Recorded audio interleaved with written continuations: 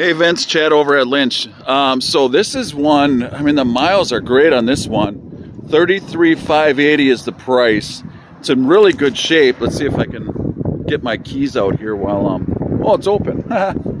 um anyways, uh, drives great. I've driven this one. Um, it's got the exact matching cap. Tires look good. Anyways, so I've got this one here, remote start, real nice truck.